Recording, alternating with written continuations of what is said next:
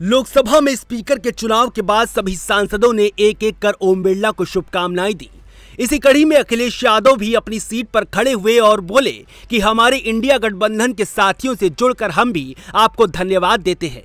मगर अखिलेश यादव ने धन्यवाद और शुभकामनाएँ ही नहीं दी, बल्कि बातों बातों में ओम बिरला पर ऐसे ऐसे तंज कस दिए, जिसे लेकर विपक्ष ने पिछले पाँच सालों में खूब आवाज़ें उठाई हैं। अखिलेश यादव ने कहा कि निष्पक्षता इस महान पद की महान ज़िम्मेदारी है। आप इस महान, इस लोकतांत्रिक न्याय के मुख्य न्यायाधीश की तरह बैठे हैं। हम सब की आपसे अपेक्षा है कि किसी भी जनप्रतिनिधि की आवाज़ दबाई न जाए, ताकि निष्कासन जैसी प्रक्रिया से सदन की गरिमा को ठेस न पहुँचे। अखिलेश यादव ने ऐसा क्यों कहा? इसे विस्तार से बताएँगे। पहले अखिलेश यादव का यह बयान सुन लीजिए। निष्पक्षता इस महान पद की महान ज़िम्मेदारी है।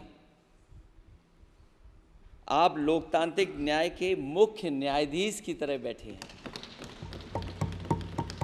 हम सबकी आपसे अपेक्षा है कि किसी भी जनप्रतिनिधि की आवाज़ दबाई न जाए और ना ही निष्कासन जैसी कार्रवाई दोबारा सदन की गरिमा को ठेस पहुँचाए। दरअसल ये तंज अखिलेश यादव ने स्पीकर ओम बिरला पर इसलिए कसा क्योंकि सत्रहवीं लोकसभा में सौ से ज़्यादा सांसदों को सस्पेंड कर दिया गया था, जिसे विपक्ष ने काला अध्याय भी बताया था। सिर्फ़ लोकसभा ही नहीं, बल्कि दोनों सदनों को मिलाकर कुल 206 सदस्यों को निलंबित किया गया था। इसका नतीजा ये था कि कई बिल तो सरकार ने बगैर विपक्ष के सिर्फ़ ध्वनि मत से ही पास करा लिए थे और बगैर विपक्ष के सदन चल रही थी, जिसे लेकर काफ़ी सवाल भी खड़े हुए थे। इन सभी चीज़ों को देखते हुए ही ऐसा हुआ कि आज़ादी के बाद ये तीसरा मौका था, जब लोकसभा अध्यक्ष के लिए चुनाव कराना पड़ा, वरना आमतौर पर विपक्ष और सत्ता की आम सहमति से स्पीकर बन जाया करता है। मैं सदन में पहली बार आया हूँ, ये नए सदन में।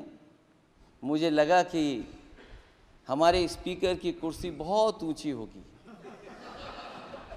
क्योंकि मैं जिस सदन को छोड़ के आया हूँ अध्यक्ष जी उसकी कुर्सी बहुत ऊँची है। उस समय भी मैं। अध्यक्ष जी किसको कहूँ कि ये कुर्सी और ऊँची हो जाए?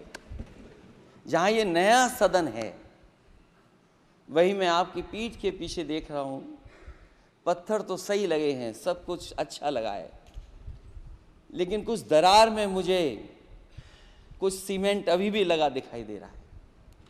अध्यक्ष महोदय, मुझे उम्मीद है कि आप जितना सत्ता पक्ष का सम्मान करेंगे, उतना ही विपक्ष का सम्मान कर करके हमें भी अपनी बात रखने का मौका देंगे। अखिलेश की इस बात पर तो सारे सांसद ठहाके लगाने लगे, क्योंकि कहीं ना कहीं नई संसद पर बात रखकर अखिलेश यादव स्पीकर के ज़रिए सत्ता पर निशाना साधने में कामयाब हो गए थे।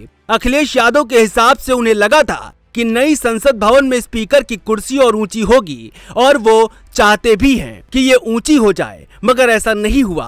अखिलेश ने दरअसल वही बात दोहराई, जिसे लेकर विपक्ष सत्रहवीं लोकसभा में सवाल खड़े कर रहा था और कह रहा था कि नई संसद की क्या ज़रूरत थी। फिर नई संसद की बनावट, उसकी ऊंचाई लंबाई को लेकर काफ़ी सवाल भी खड़े हुए थे।